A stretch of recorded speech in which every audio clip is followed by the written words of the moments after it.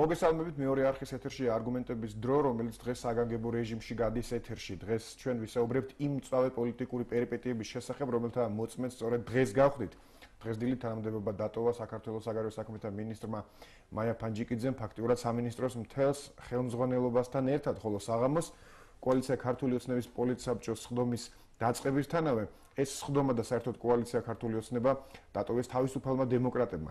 რამდენად მართებული იყო საგარეო საქმეთა მინისტრის ნაბიჯი და შეგვიძლია თუ არა საპარლამენტო უმრავლესობა დაშლილად ჩავთვალოთ თავისუფალი დემოკრატების კოალიციიდან გასვლის შემდეგ.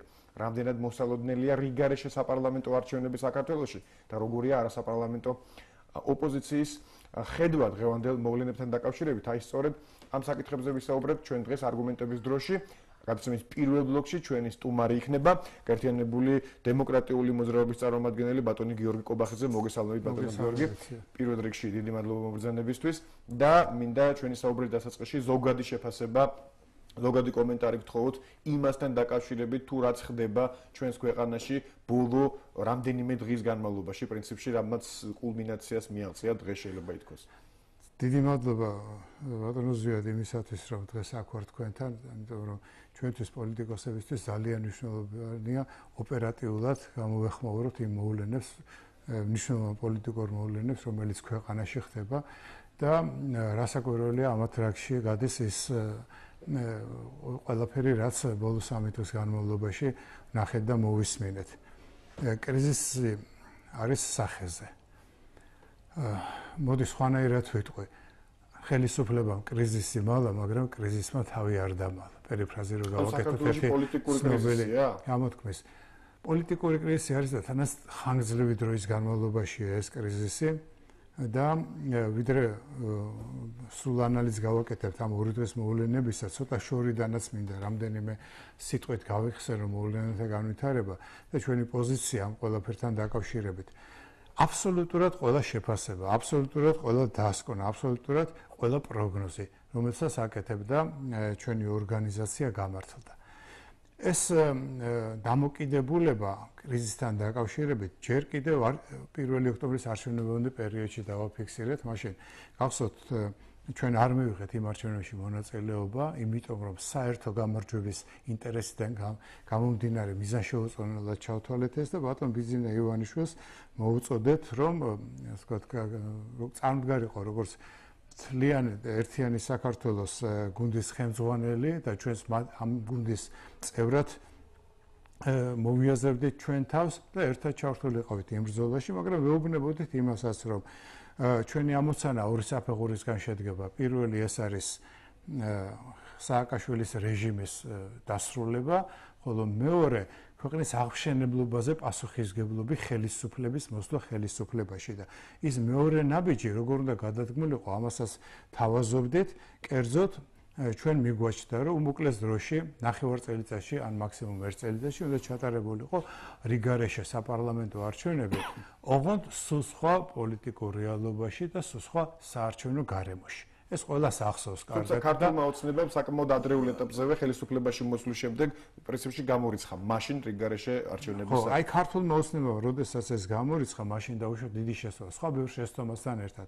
შესწომები იყო ისიც, რომ არ გამოუცხადეს იმპიჩმენტი მიხეილ სააკაშვილს და მას მისცეს საქმის ფუჭების საშუალება ქვეყნის გრევის საშუალება კიდევ ერთი წლის განმავლობაში არ გამოუცხადეს იმპიჩმენტი მოსამართლე კუბლაშვილს მაშინ როდესაც შეაფასეს სასამართლოების გადაწყვეტილებები უარყოფითად მძიმედ და სისტემურ დანაშაულებზე იყო ლაპარაკი ნაციონალური მოძრაობის მხრიდან, მისი ყველა სტრუქტურული გოლის მხრიდან, იცით ეს ყველაფერი კარგად მოგეხსენებათ, საზოგადოებასაც მოგეხსენებათ და ჩვენ ამაზე ლაპარაკობთ, რომ პოლიტიკას აქვს თავისი წესები და კანონები. როდესაც ჩვენ არ გვაქვს მიდიხარ ჩიხისკენ. აი წესებიდან და კანონი ჩვენ კი არ ვიგონებდით რომ კარგია რიგარეში არჩევნების ჩატარება. არამედ იმის რეალობა ითხოვდა და სხვა ქვეყნები, ნორმალური ქვეყნები, დემოკრატიის ტრადიციების ქვეყნები ასე იქცევიან ხოლმე. ამის ნიშნებსაც ვეუბნებოდით. ერთი ის რომ ის არჩევნები 1 ოქტომბერი მიუხედავად იმისა, რომ მოიგო იმან, ვისაც ხალხი მხარს უჭერდა, მაინც არ იყო სამართლიანი, რადგან ნაციონალური მოძრაობა სამართლიან არჩევნებში ნორმალური საარჩევნო კოდექსით იმ რაოდენობას ხმებისას ვერ აიღებდა. არ იყო გარდა ამისა სამართლიანი თუნდაც იმიტომ რომ რამდენიმე პოლიტიკურმა ორგანიზაციამ ისევე როგორც ჩვენ არ მიიღეთ მონაწილეობა იმიტომ რომ საერთო ინტერესისთვის შეგვეწყო ხელი და კიდევ ერთი თავარი პირობა გახლავთ ის რომ ეს კოალიცია იყო სხვა მიზნით შეკრული ანუ საკაშოზე გამარჯვების და არა ქვეყნის აღშენებლ ანუ ეს არ იყო საქართველოს ნაკრები რომელსაც შეეძლო ქვეყნის აღშენებლობაზე ზრუნვა. ანუ ეს არ იყო ქვეყნის სამართავად შექმნილი კოალიცია ეს იყო გარკვეული პოლიტიკური სისტემის დემონტაჟისთვის შექმნილი და გარკვეულ კომპრომისებზე იყო აგებული ამ ესე ვქოთ შემადგენლობა. ესეც უნდა ვთქვათ ღიად. ანუ ბატონ ბიზნეს უხდებოდა გარკვეული ვთქვათ, ნაბიჯების გადადგმა სხვადასხვა მიმართულებით იმისათვის, რომ საერთოდ ახმობისთვის მიეღწია კომპრომისული ნაბიჯების. მაშინ გამართლებული და სწორი იყო ეს კომპრომისი, მაგრამ კომპრომისი აღარ უხდება საქმის კეთებას.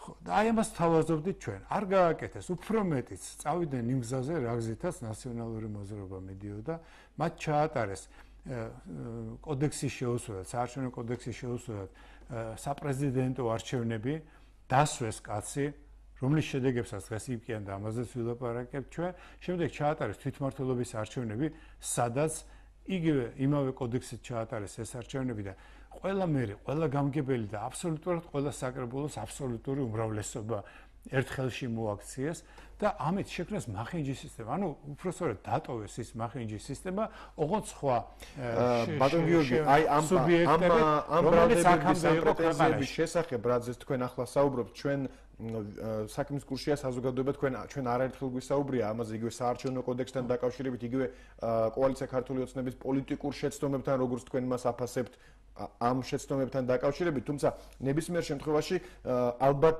მაინც დღეს მე ვფიქრობ საზოგადოებას უფრო გაცილებთ აინტერესებს კონკრეტულად აი ამ სამი დღის მომენტების შესახებ რომ გადავიდეთ. აი ზუსტად შევედით პირველ რიგ დავიწყოთ თუნდაც აი დღევანდელი დილის მოვლენებით ალბათ მაია ფანჯიკიძის გადადგომით როგორ შეაფასებთ თქვენ კონკრეტულად აი ამ ministris ნაბიჯს რომელმაც სხვათა შორის თან გაიყოლა თუ შეიძლება ასე ითქვას მთელი ხელმძღვანელობა საგარეო საქმეთა სამინისტროსი და მან ასევე განაცხადა რომ ეს გადაწყვეტილება მან მიიღო იმიტომ რომ მან პრინციპში დაეთანხმა იგი პრინციპში ყოფილ თავდაცვის მინისტრს და ბრძანა რომ იგი თანამდებობიდან მიდის იმიტომ რომ საფრთხე ემუქრება ქვეყნის ევროატლანტიკურ ორიენტაციას. ჩემ შესავალ ნაწილს ერთადერთი წინადადებით დავასრულებ, როდესაც ხელისუფლება არ ხსნის თავისი ნებით კრიზის, კრიზისი ფეთქდება. და სწორედ ეს მოხდა ირაკლი ალასანიასთან დაკავშირებით. სანამ მაია ფანჯიკიძეს გადავალ, მოდით ირაკლი ალასანიას გადაწყვეტილებაზეც და მას შემდეგ ირაკლი ღარიბაშვილის გადაწყვეტილებაზეც თქვა ორი სიტყვა. ირაკლი ალასანიამ იმ დღეს გუშინ 6 საათზე სამი დიდი შეცდომა დაუშვა. სამი დიდი პოლიტიკური შეცდომა დაუშვა. რომელიც მას ძვირად დაუჯდა და მომავალში კიდევ უფრო იჩენს ეს ყველაფერი თავს. ერთი ის თქვა რომ მოხდა დაპირისპირება თავდაცვის სამინისტროსთან. მეორე თქვა, რომ მე ვარ დასავლური კურსი და ჩემთან დაპირისპირებით, ანუ ჩემ მასწავლებლად რომ მე ვარ დასავლური კურსი, თუ მან თქვა რომ ჩემ უწყებასთან დაპირისპირებით, ესენი ერთზვიან დასავლ, მან გაიგივა თავისი თავი დასავლურ კურსთან. იმიტომ რომ ამას ვერ იტყვი თუ შენ ამ მიმართულების ლიდერად არ აგავს თავი წარმოდგენი და მესამე შეცდომა ის იყო რომ როდესაც ესეთ ძიმე განცხადებებს აკეთებ, როცა ეუბნები მეორე მხარეს, რომ შენ იქით მიდიხარ და მე აქეთ მივდივარ, ამ შემთხვევაში უნდა გადადგე. თუ ხარ პოლიტიკური ლიდერი, ის არ გადადგა საკუთარი ნებით. აი ეს სამი ძიმე შეცდომა დაუშვა. რითიც ჩვენ მარტივად შეგვიძლია გავაკეთოთ დასკვნა, რომ ის არ არის ლიდერის თვისებების მატარებელი პოლიტიკოსი და მეორე სუსტი პოლიტიკოსიც არის. იმიტომ რომ ეს მერყეობა კიდე სხვა რაღაცების გამოშვა თუნდაც დაუშვათ გუშინდელ კითხვაზე რომ ნაციონალურ მოძრაობასთან ითანაშროებს თუ არა მან ორაზროვანი პასუხი გასცა ფაქტობრივად ჩვენ ყველა გავიგეთ რომ სწორედ მაგას ირაკლი ალასანიანი მისე გავიგეთ რომ ეს ყველასთან ითანამშრომლებს მის მის პოზიციას გაიზიარებს მაგრამ დღეს უკვე იძულებული გახდა რომ უკან დაეხია და აეხსნა ну რას ნიშნავს ნაციონალურ მოძრაობასთან თანამშრომლობა. ეს ეს მისი სისტემის მაჩვენებელია და მე ამას დღეს არ ვლაპარაკობ, როდესაც დაუშვათ პრობლემები შეექმნა ირაკლი ალასანის. მე თქვენთანაც არაერთხელ მილაპარაკია და ყველა ეთერში ან პრესის სხვა საშუალებებთან, როდესაც ამ თემაზე საუბრის საშუალება მეძლეობდა, ჯერ კიდევ 1 ოქტომბრამდე პერიოდიდან მოყოლებული. ყველა კრიტიკულ სიტუაციაში ის თავს წარმოაჩენდა ხოლმე როგორც სუსტი ლიდერი და სუსტი პოლიტიკოსი. 2009 წლის მოვლენები მაქვს ხედულობაში, 2010 წლის თვითმმართველობის არჩევნები მაქვს და ყველაფერი შემიძლია გავჩერდო. თუმცა თავისთავად მაშინ რაკი ალასანიას დღეს თქვა. ალასანიაზე დავიწყეთ საუბარი. თავისთავად საინტერესოა ალბათ თუ ის არის სუსტი პოლიტიკოსი და სუსტი ლიდერი, სუსტი პოლიტიკური ფიგურა და სუსტი ლიდერი, ეს აპრიორი არ ნიშნავს დაპირისპირებას. არ არ იწევს დაპირისპირებას როგორც ასეთი. მაშინ რატომ გამწავდა თქვენი აზრით დაპირისპირება? რა თქმა უნდა, რა თქმა უნდა, ეს არის დაპირისპირების მიზეზი, ანუ არის მოსაზრება, რომ მას ჰქონდა ასე ვთქვათ, რაღაც უფრო სერიოზული პოლიტიკური ამბიციები, არის სხვა მოსაზრებაც, რომ ელემენტარულად ანუ თქვენ როგორ ფიქრობთ? მე ერთსაც ვიტყვი კიდე ამ ირაკლი ალასანიას შეფასებასთან დაკავშირებით და ჩვენ ვლაპარაკობთ, არის ესეთი დამოკიდებული, ის კარგი მინისტრი იყო, მაგრამ რაღაცა ახლა შეეშალა. არა, არ იყო კარგი მინისტრი ირაკლი ალასანია. და თქვენ გახსოვთ ის განცხადებები, რომელიც მან გააკეთა ნატოს თავდაცვითი შეიარაღების განლაგებასთან დაკავშირებით, კერძოდ აერსაწინააღმდეგო იარაღზე ლაპარაკი საქართველოს ტერიტორიაზე. რატომ იყო იცით ეს სუდი პოლიტიკური ნაბიჯი? იმიტომ რომ არ იყო შეთანხმებული მთავრობასთან, არ იყო შეთანხმებული ნატოს წევრ სახელმწიფოებთან, ჩვენ პარტნიორ სუბიექტებთან. და თანაც მესამე, ეს იყო ძალიან ძიმე სავარაუდო შედეგების მომტანი, იმიტომ რომ ყისერი რეაქცია რუსეთის, რომელიც პრეტენზიებს აცხადებს, რომ აქ რაღაცაებს უნდა განაგებდეს და თავისი ჯარი ყავს განლაგებული ჩვენ ტერიტორიაზე, არის ოკუპანტი ელემენტარულად, ხო? მისი რეაქცია იყო ძალიან მწვავე და შეეძლო გამოეყენებინა ის ცუდი მიზნებისთვის, რომ არა დამაბალანსებელი განცხადებების შემდეგ, როგორც აქედან ისე იქიდან. იგივე დავუშვათ იმ ანტიტერორისტულ ბაზებთან დაკავშირებით, ბაზებთან დაკავშირებით. ეს ყველაფერი მეტყველებს იმაზე, რომ ის ან თამაშიდან ვარდებოდა, ან უბრალოდ ვერ თვლიდა შეგნებულად ვარდებოდა, ან ვერ თვლიდა რა უნდა გაეკეთებინა როგორც პოლიტიკურ ფიგურას. ეს მე მხოლოდ პოლიტიკურ ნაწილზე შემეძლია ლაპარაკი. იქ შიდა ამბებთან დაკავშირებით ბევრი რამ ვიცი, ისე როგორც თქვენ, ისე როგორც ჩვენმა ტელემაყურებელმა, მაგრამ უშუალოდ რაც იმას მე ვერ გამოვიდა. ეხება აი ამ სამართლის ეს არის ბიზნესოვანი ხალხი სასამართლოს დაველოდოთ სასამართლოს იმ საქმეებთან დაკავშირებით დიებრივია. თუმცა თავად აი განცხადებები უკვე არამხოლოდ ირაკლი ალასანია, არამედ მაია ფანჯიკიძემაც გააკეთეს იდენტური განცხადებები, რომ ქვეყნის საგარეო პოლიტიკურ ორიენტაციას დაემუქრა საფრთხე და უფრო მეტიც მაია ფანჯიკიძემ დღეს აღნიშნა, რომ არამხოლოდ სამომავლო გეგმები, არამედ უკვე მიღწეული შედეგებიც კი დარტყმის ქვეშ დადგა. აი ამ განცხადებებს როგორ შეაფასებთ? ეს არის ძალიან ძიმე გადაწყვეტილება და საერთოდ გაუგებარი გადაწყვეტილება არის მაია ფანჯიკიძეს თან დაკავშირებით ვლაპარაკობ. მაია ფანჯიკის მოდით შევაფასოთ ახლა ისევ და ისევ პოლიტიკური არგუმენტებით ეს ყველაფერი და ფაქტებით.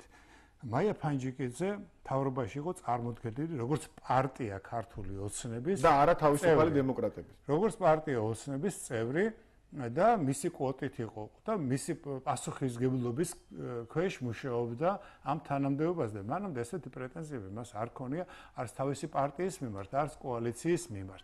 არც ლიდერების მიმართ. ეს ერთ. და მეორე, უცებ ვიგებთ განცხადებას, უკვე უნდა ვიფიქროთ რაღაც ნათესაური ნიშნით, რომ ის მიდის ამ თანამდებობიდან და თუ იმეორებს იმ ტექსტს, რომელიც ჩვენ მოვისმინეთ ირაკლი ალასანიას. საერთოდ ყველა ნორმიდან, რაც დაუშვათ მიღებულია სახელმწიფოების მართვის თვალსაზრისით, დარღვევა მოხდა.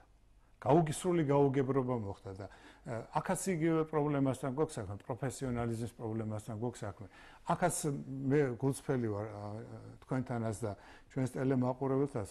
ვამბობდით, რომ თუ რომელიმე მიმართულებით პრობლემა აქვს ქვეყანას, ეს არის პირველ რიგში საგარეო მიმართულებით. და ეს ეხება ალექსი პეტრიაშვილსაც, არა მარტო მაია ფანჯიკეს, იმიტომ რომ ამ მიმართულებას რამდენიმე პერსონა, რამდენიმე პერსონა მართავდა.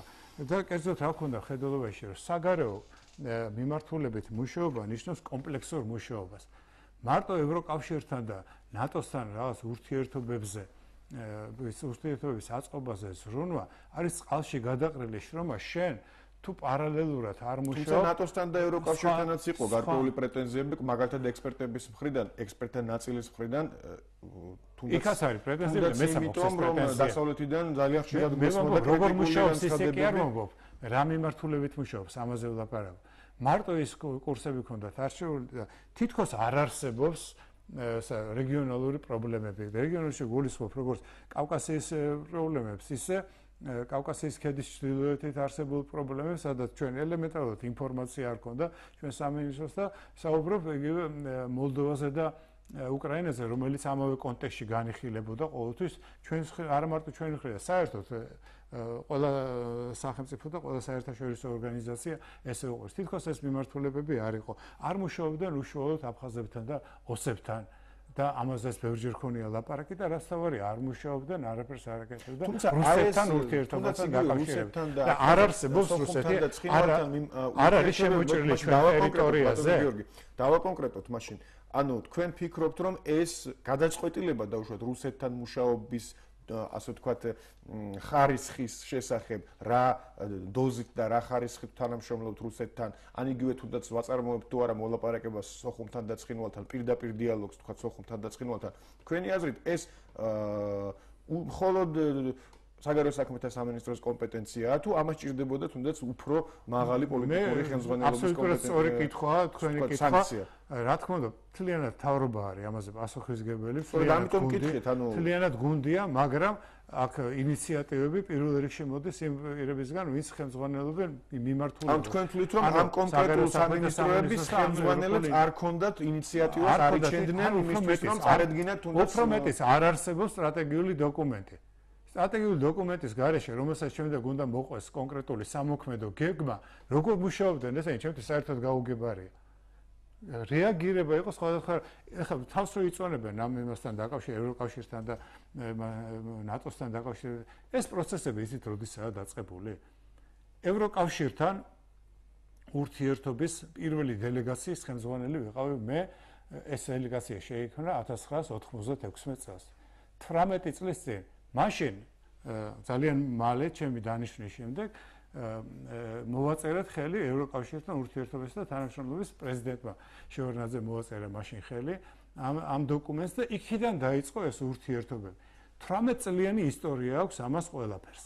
და ამათ უბრალოდ ამ ნაწილის ასე ვთქვათ ბოლო ნაწილის ხელმოწერის პასუხისგებლობა და მომზადება და პასუხი მე არ მინდა დაუკარგო რამე ვინმეს ესე იგი ხვდა წილად. ეს ესე არ არის რაბათ გააკეთეს ეს ყველაფერი და მიიყვანეს რაღაცა დონემდე ვიმეორებ 18 წლიანი პროცესი იყო მარტო ევროკავშირს არ შეეხება. რა შეეხება ნატოს? მოდი ახაც გულახდელები იყო. ჩვენ ნატოში ვერასდროს ვერ შევალ. გამორიცხულია რომ ჩვენ ნატოში მიგვიღო ამისი მრავალი მიზეზია და ერთი მიზეზი რომელსაც ვასახელებ არის ის რომ ჩვენ ტერიტორიაზე დგას რუსული ჯარები. თუმცა ნატოს თემა ძალიან დიდი თემაა და მოდით აქ ლაპარაკი იმაზეა რომ თავს რითი იწონებენ დაუშვათ და მესმის გამონათებენ რომ ამ მიმართულებით არ მესმის მესმის თქვენი ლოგიკა მე ვფიქრობ მაყურებლისთვის საზოგადოებისთვის აბსოლუტურად გასაგებია. ჩემთვის გასაგებია პეტრიაშვილის ესა. მაგრამ აი პეტრიაშვილის განცხადება თუნდაც აი ერთია დაუშვათ როდესაც მინისტრი მინისტრები უბრალოდ აკეთებენ განცხადებებს რომ ხედავენ რაღაც საფრთხეს საგარეო პოლიტიკური ორიენტაციის კუთხით, მაგრამ ალექს პეტრიაშვილი ამაზე შორსაც მე ფიქრობ წავიდა და განაცხადა რომ იგი ფიქრობს რომ ქვეყანაში მყარდება დიქტატურა. ქვეყანა მიდის დიქტატურისკენ. ეს როგორ ფიქრობთ? აი ასეთ განცხადებას როდესაც აკეთებს ministri, სახელმწიფო ministri.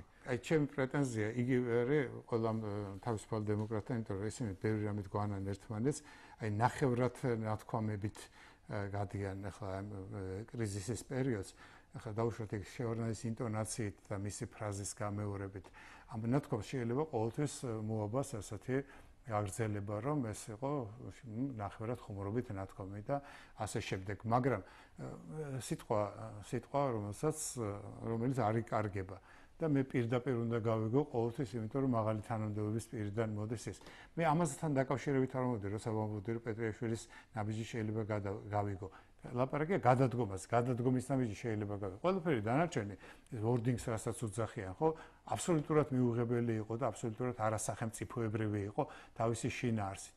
ხა და აქვე ამ კონტექსში მინდა წულუკიანსთან დაკავშირებითაც თქვა პეტრიაშვილსაც და წულუკიანსაც ქონდათ გადაწყვეტილების მიღების უფლება ანუ აქ ის პრინციპი რომ თუ გუნდის წევრი ხარ შენც ისე უნდა გააკეთო როგორც შენი თავმჯდომარე აკეთებს არ არის სწორი დამოკიდებულება კარგი იქნება თუ დავაკონკრეტებთ რომ წულუკიანმა წულუკიანი თანამდებობაზე დანიშნვიდან ძალიან მალე მან თავად განაცხადა რომ პარტიასთან როგორც ასეთი პარტიულ საქმიანობას პრინციპში წვეთს.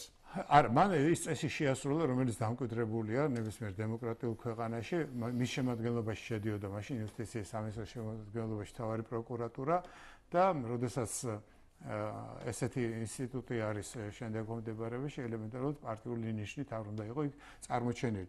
და მაგრამ ამას მნიშვნელობა არ აქვს ის მაინც მოიაზრებდა თავს ამ გუნდის წევრად რასაც თავისუფალი დემოკრატია მას განცხადება მას ბევრჯერ გაუკეთებია და თან ერთ-ერთი მინისტრია რომელზეც მე მაინდა-მაინც ვთქვათ დადებითი განწყობით არა ვარ მას შემდეგ რაც მარსაჯულების ხაროზების დამდგენი კომისიის გაუქმებას მოაწერა ხელი მაგრამ ამ კონკრეტულ შემთხვევაში პეტრიაშვილსაც და მასაც ჰქონდა 50-50-ზე არჩევანის გაკეთების საშუალება. ისინი თუ გუნდს არ გაყვებოდნენ, მაშინაც მართლები იქნებოდნენ და რატო? იმიტომ რომ ვიმეორებ ირაკლი ალასანიამ ძიმე პოლიტიკური შეცდომები დაუშვა და როდესაც ჩემი ლიდერი უშვებს ძიმე პოლიტიკურ შეცდომას, მე ამ შემთხვევაში როცა მივყვები მას, უფრო ვაძლიერებ კრიზისს. გასაგები ანუ რამდენიმე ვარიანტია.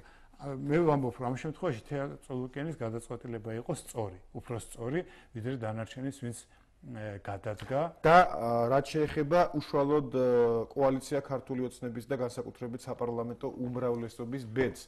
ფაქტიურად თავისუფალი დემოკრატების კოალიციიდან გასვლის შემდეგ და უმრავლესობიდან გასვლის შემდეგ შეგვიძლია ჩავთვალოთ რომ ტექნიკურად უმრავლესობა აღარ არსებობს.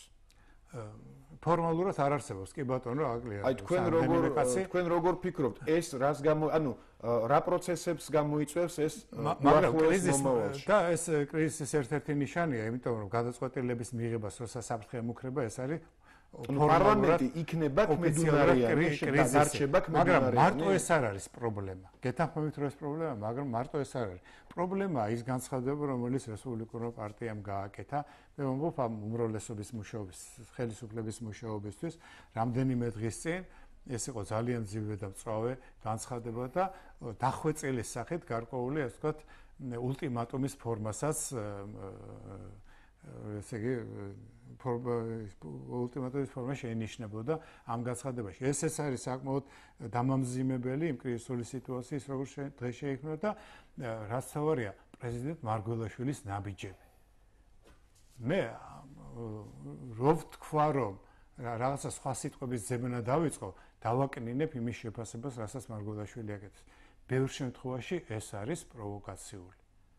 რასაც მარგველაშვილი აკეთებს, რატომ? მაგალითად, აი ამ იმიტომ აი ამ ორი დღის მანძილზე რაში დაინახეთ ჩამონათვალს გავაკეთებ, იმიტომ რომ ის ცდება თავისი კონსტიტუციური უფლებების ფარგლებს. მაგალითად, სადგას მაგალითად, ბოლო შემთხვევიდან დავიწყებ, როდესაც მან მოიწვია უშიშროების საბჭო იმ თემაზე, რასაც ქვია რუსეთ-აფხაზეთის ხელშეკრულება.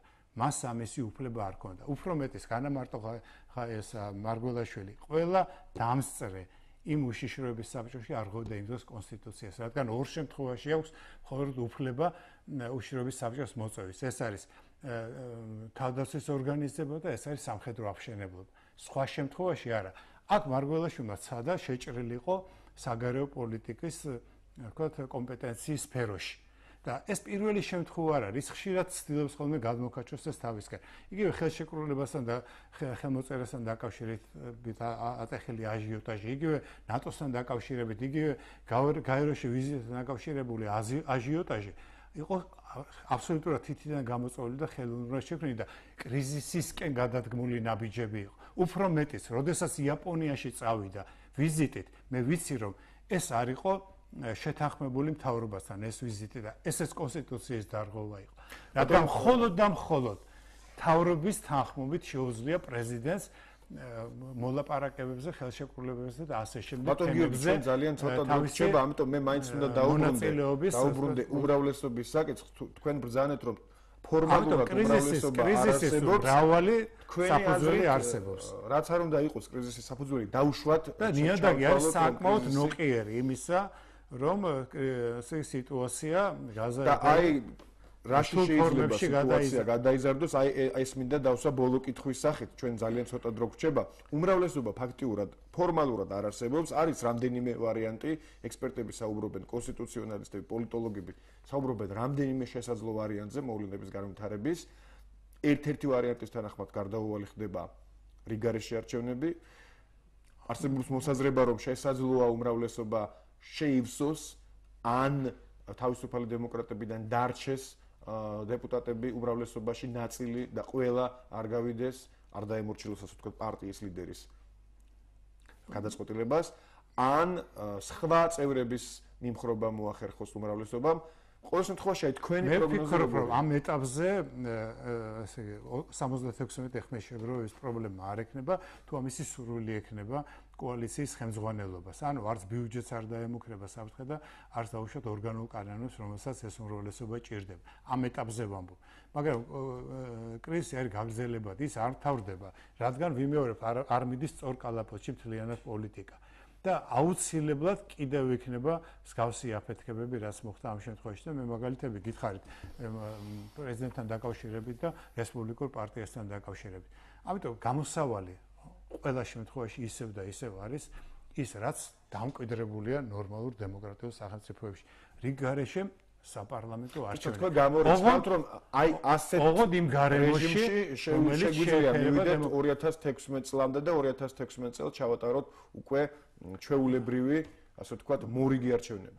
ძალიან რთული იქნება. მე ეჭვი მეპარება. რომ შეძლებს ეს ხელისუფლება 2016 წელს ძალიან წამგები იქნება. მე ამასაც ვითვალისწინებ სუბიექტურ მომენტებს, რომელიც ხელისუფლება შეიძლება გააჩნდეს, ძალიან წამგებიანი იქნება ქართული ოსნობის, იმიტომ რომ ის გაკოტრებული მივა ამ არჩევნებამდე. საერთოდ ჩვენ ბევრჯერ ვილაპარაკე ამაზე, რომ ყველაზე მთავარი პრობლემა სწორედ ლეგიტიმაციის პრობლემაა. მას შემდეგ, რაც ბიძინა ივანიშვილი გავიდა პოლიტიკიდან, საერთოდ მიიღო უმართავი სახე კრიზისმა, იმიტომ რომ პასუხისგებელი პირები ქვეყანაში აღარ დარჩნენ ოფიციალურ პოსტებს. ამიტომ ნორმალურ საარჩევნო გარემოში რიგარეში საპარლამენტო არჩევნები არის გამოსავალი. გასაგებია, ძალიან დიდი მადლობა მოგზაურობისთვის, საინტერესო საუბრისთვის. მე შეგახსენებთ, რომ ჩვენი სტუმარი იყო გაერთიანებული დემოკრატიული მოძრაობის წარმომადგენელი ბატონი გიორგი კობახიძე.